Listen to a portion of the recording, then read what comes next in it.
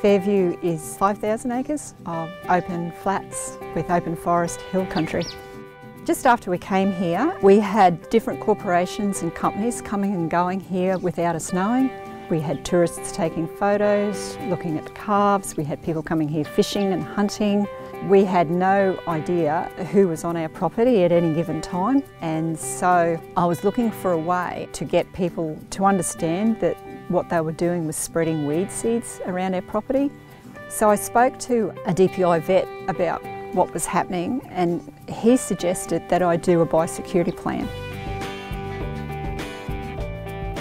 I researched it on the net and uh, found a very, very simple plan and from there I wrote our existing plan with a greater depth of recording events and animal health, paddock inventories, etc.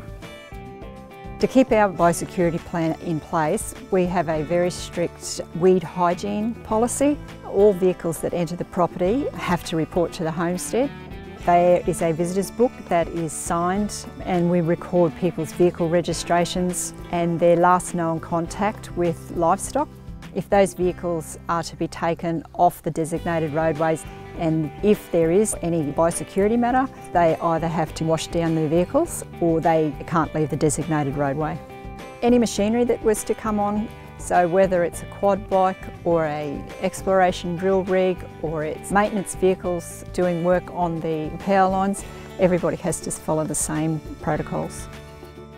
With our livestock biosecurity procedures, any cattle that are introduced to the property are quarantined in the cattle yards for three days and then they're put into small holding paddocks around the cattle yards for a further two weeks. And that is to let the gut empty out of any weed seed contamination and to be able to spot any disease that are in the herd when they first come on the place.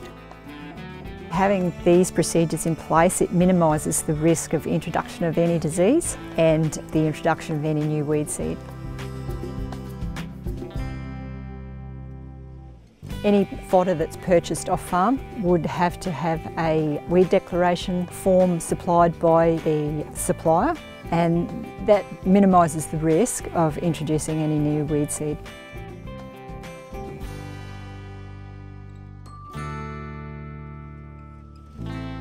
As we've eradicated most weeds back to the riparian area, we now just monitor paddocks when we're mustering or fencing or checking cattle for any new weed growth and that is usually sprayed within a couple of weeks of being spotted.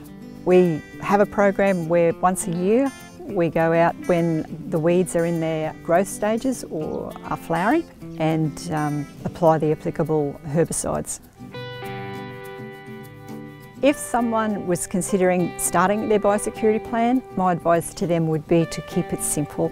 There is a lot of help out there now for primary producers, so I would encourage them to look at the brochures, have a look at the websites and to bring the staff to help them get started.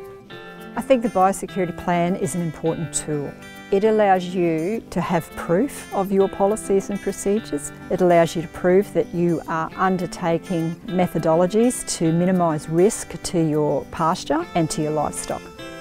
Our biosecurity plan has been the best outcome for us.